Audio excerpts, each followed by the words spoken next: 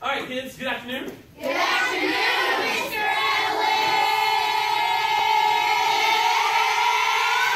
Ellis! Start with what I thought we'd do is we go over our song one more time because everything we need to know is going to be in that. So continuing with astronomy and the Big Bang. Get real close. Get real close. It's the Big Bang, man. Hey, hey, hey, Started out small, now it's getting bigger. It's the Big Bang, man. hey, hey, hey. Wrong, he knew all along. It's the Big Bang Man.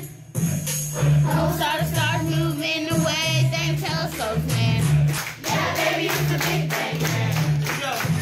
Oh, they are.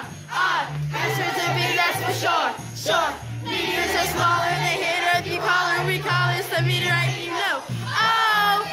All right, so great job with the song, and now let's talk about what's actually going on behind the lyrics. We gotta know where it started from. So if everybody could, could you clear your desks, get your dry erase markers out, please. On the left side of your table, please, write the word start.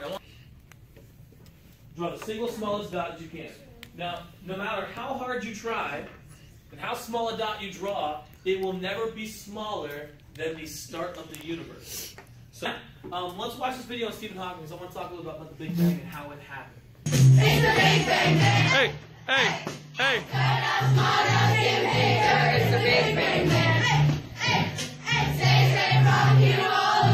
It started cooling down as it's expanding, and it turns into matter.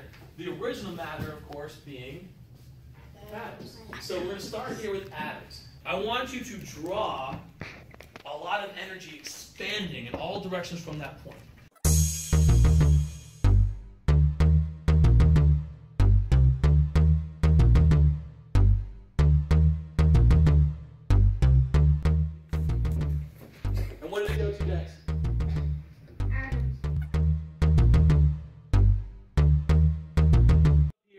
See all these numbers all the way through. I want you to go two through five on your own. It looks funny when I replay it. Oh no. Watch this. Fly straight so fast. Yeah, I know it. Number three says grab the V for velocity and pull it back to the earth. Decrease velocity, press play and observe. So play around with the velocity. You want to press pause first there, Julia. It is showing the blue arrows for gravity and red for velocity. You don't need to understand. Gravity pulls things Together. together. So watch what happens. I press the start button, watch. Almost instantaneously, what do they do? They draw towards each other, right? This video. So check this out, please. As these atoms come together, they start to bump into each other, right? Can you take your hands, please? Put them like this. And rub together really, really fast. Rub together really, really fast. Real fast. Your hands start to get hot, right? Put your hands in your face. Put your hands in your face. Okay. Real hot, right? We feel that. We feel that heat. So here's what I want you to realize. When you take these atoms and you bring them together with gravity and they start bumping into each other real, real fast, more and more and more because they get more and more energy from that gravity, eventually they're going to catch on fire. And does anybody know what was made when all of these atoms came together and did that? Fire. Stars. Supernova is when a star explodes. And they release all their guts out everywhere into space. But they can also form planets.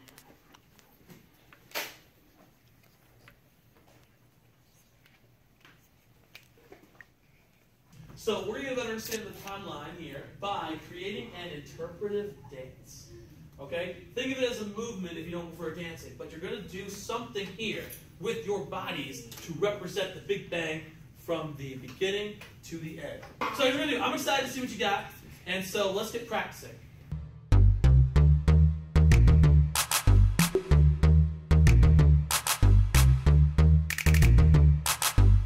Hey guys, so here's how it's gonna work. Now that we practice our um, dances, what we're gonna do is we're performing here um, at Ellis Theater.